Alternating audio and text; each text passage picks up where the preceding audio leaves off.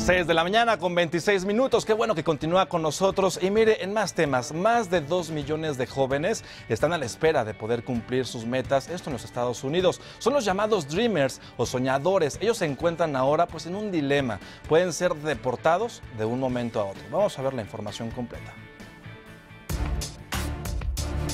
Perseguir un sueño fuera del país de origen.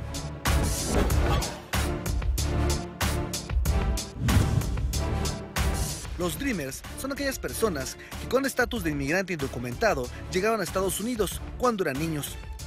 Los jóvenes Dreamers representan al grupo que pugna con más fuerza para llevar a cabo una reforma migratoria.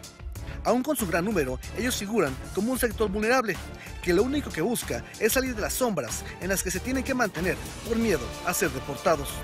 Y es que, a pesar de ser de otro país, ellos han vivido casi toda su vida en Estados Unidos.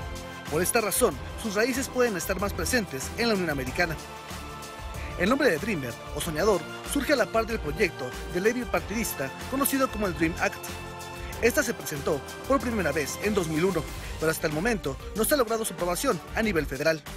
El joven Dreamer asiste o ha terminado la escuela en Estados Unidos. Por el tiempo que lleva, domina el idioma inglés.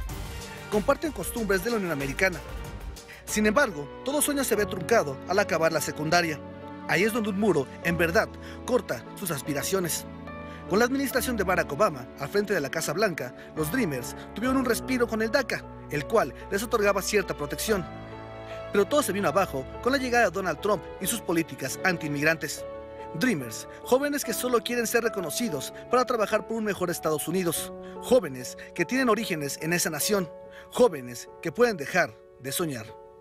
Para imagen, Oscar Gallegos.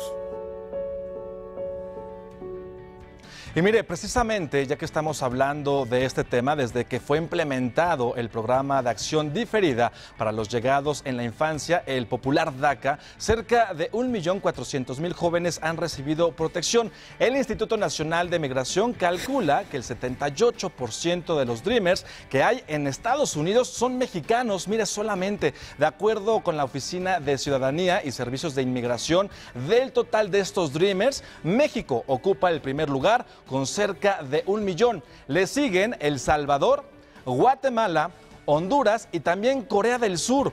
Y por lugar de residencia de los Dreamers, la lista está encabezada por el estado de California, evidentemente, seguido por Texas, Illinois, Nueva York, Florida y Arizona.